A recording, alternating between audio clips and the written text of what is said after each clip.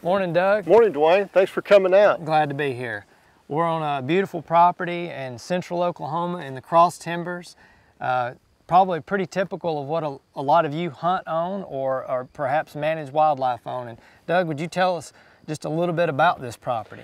Yeah, this is uh, a property that I actually was able to purchase uh, about a year ago, a little over a year ago. And uh, we actually bought it for recreational purposes, for hunting and fishing and, and kind of enjoying the outdoors. And, and so that's our whole main goal of, of this property. And this property, uh, like a lot of places, needs some work. And so we're going to be showing some resource concerns specific to wild turkey, but that will also benefit lots of non-game species uh, that people are interested in. And we're gonna follow this property over time and show you how it transitions to be better turkey and, and overall wildlife habitat. Yeah. And the first thing I'd like to really look at is, is the eastern red cedar problem we have out in our open areas. Let's go take a look. So, like a lot of properties in this part of the world, it's been fire suppressed for a long yeah. time. And cedar is uh, comes up in those areas because it, it, it thrives in areas that don't have fire. And yep. so the cross timbers we think of as an oak forest, but it also has a lot of patchwork of open areas, yep. which is really important for wild turkey. And it is. And this, this is one prime example of, of some of those open areas that have grown up in cedars. And uh, this is an area that I would like to improve the turkey habitat on. Uh, and a lot of it is going to be removing these eastern red cedars. So you're starting kind of with the limiting factor on this property. That's the most important thing to address. That's right. And I, I just want to, I want to, and it's probably the easiest and going to see the most benefit from right off the bat mm -hmm. is by removing these eastern red cedars and improving the nesting and brooding habitat on this property. So it's probably important to mention why this is a problem for wild turkey. Um, obviously right now there's still a lot of grass and forbs around these cedars, but over time they're going to fill in and they will shade out all the desirable plants that turkeys nest and feed in and it will become non-habitat for wild turkey. And in fact, even right now, a turkey is going to give this area a wide berth because they're not going to want to walk through the middle of those cedars where they can't see. They're very paranoid and they're very conscious of potential predators and they're not going to spend much time in this area. So you could make a lot more of this land support turkeys just by removing these cedar. Yep. So Doug, the last time we were here, it looked dramatically different. There were lots of standing uh, eastern red cedar, so you've been busy. Yeah, we actually had had a grinder come in and grind the eastern red cedars out of this upland area, this, this open area.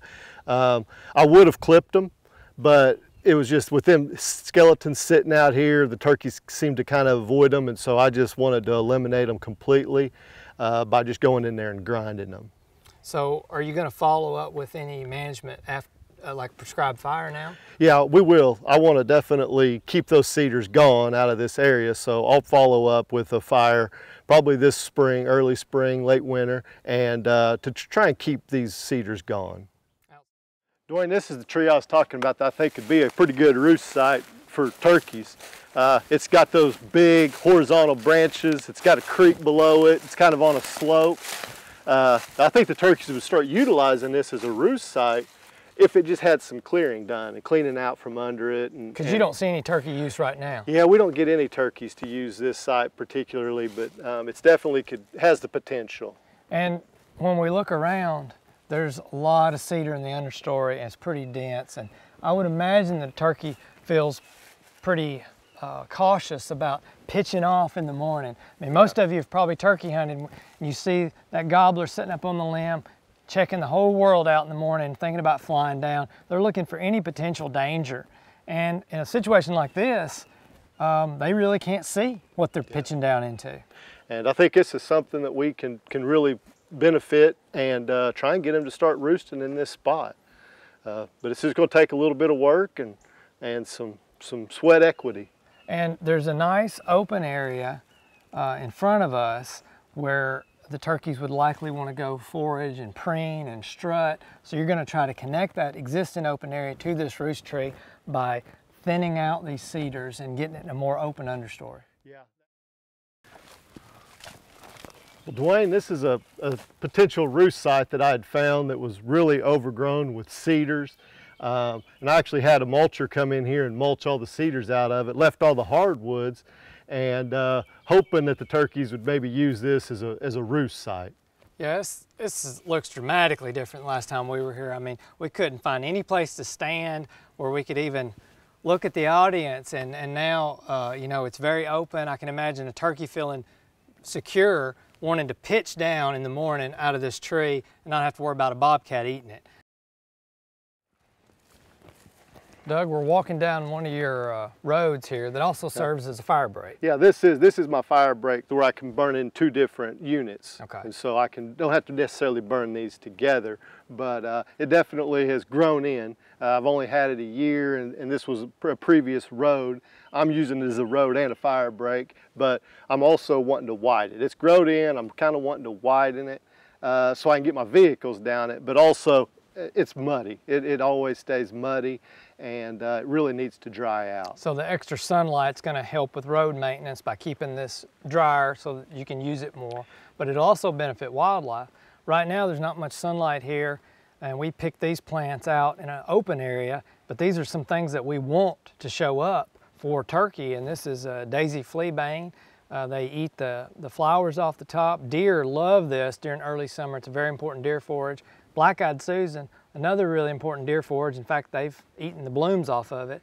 And the blooms are very attractive to insects that turkeys use. So by widening this and getting more sunlight, we will benefit turkey as well. Yeah, and also they don't feel safe walking down this road uh, that's just so grown in and the turkeys, they like to be able to see. Um, in fact, one actually got got hit by a bobcat or something this fall by walking down this road. Okay. So I do want to widen this up to make it a little bit more predator friendly for for turkeys too. And by widening it, they, they'll feel safe to travel down this road. And so you, you said you were going to do this, I think, with a dozer, uh, but you're probably going to talk to the operator about where he puts the blade. Yeah, yeah, I definitely don't want him to take the topsoil off. So uh, leaving the blade up a little bit in order to just push the tree down, leave the seed bank and soil there uh, is going to be beneficial because there does water does travel through this road and uh, it drains from a neighboring pond. So we have to keep this vegetated as much as possible. So I don't want him to a lot of disturbance and cause a bunch of soil erosion. So I do want him to leave the soil and leave the blade off the ground as much as just to push the trees over. That sounds good. Okay. So it looks like you've had a mechanical mulcher in here and widened this road. And what was the purpose of that, Doug? It, well, it's a couple of purposes. Uh, one of them was to maintain the road. Uh, this area stayed pretty wet, and so it helped to dry the dry the the ground out. Okay. Uh, but it also provided uh, kind of a travel corridor for the turkeys. They feel safer going down this wider road. And it looks like a side benefit of widening this road, letting the sunlight in, is similar to what we expect to see in the forest thinning, is that we've gotten a lot of desirable flowering plants that have come up uh, and, and you didn't have to plant these. Yeah, this, this was all native, come back naturally. Um, and it's also my fire break. Mm. So um, I'll probably come in and mow this about once a year to try and keep the brush from coming back up. I want to keep it and maintain it as a road and a fire break as I'm using for my prescribed fires. Okay. So we've been able to show you several things on this property that you could implement on your own property, everything from forest thinning, food plot management, road widening, prescribed fire, roost site management, um, and hopefully, you know, we've inspired you to try to increase the, the wildlife potential of your property. And I know, Doug, that you're gonna you're going to enjoy in the next few years seeing increased turkey use and, and hopefully good hunting on this property. I hope so. But if you are interested in doing some of these practices or don't know quite where to start, you might contact the Oklahoma Department of Wildlife or the National Wild Turkey Federation and have a biologist come out and look at your property and, and give you some ideas. Well. All right. Where are you taking me to lunch? Well, it's a little ways away, but it's a really good restaurant. All right. I'm ready. I'm starving.